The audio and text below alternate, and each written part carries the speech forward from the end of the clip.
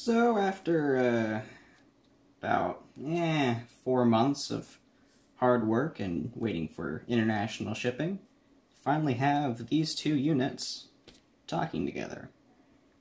But how, I hear you say, because this is an XPR, does DMR slash MOTOTRBO slash whatever you want to call it. And this one, that's an MTP, does Tetra, and only Tetra, nothing else. No analog, no nothing. So as you can see, currently we have the MTP in DMO group mode and the XPR in um, MOTOTRBO digital mode. So now, whenever I, I just kind of, well, there you go. You'll see all of a sudden it starts communicating. But how? And does it actually work? Well, let me show you. One, One, two, two, three, three, four. four, four, five. It works. Just to show you it's not crap, let me pull the other MTP out.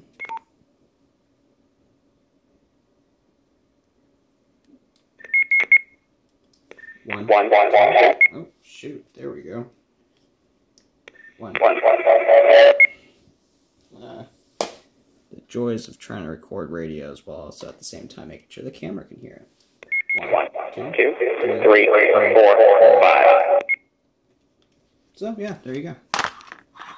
Then if we do the XPR again,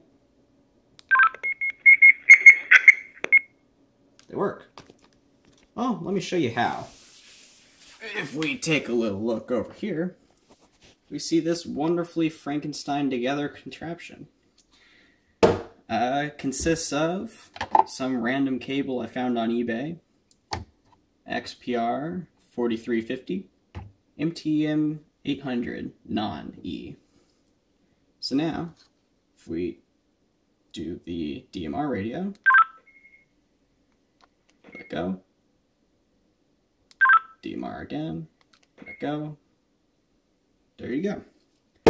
And then, you know, say I just want to, I don't want it to repeat, flip that, DMR, let go just to show it's actually going to this DMR radio. One, One, two, two, three, three, four, four, five. five. One, two, three, four, five. There you go. So hopefully, um, I can get it going the other way. As right now it's going here to here, not here to here, and that's just due to the MTM not putting out a uh, COS signal, which there's ways around that I've heard.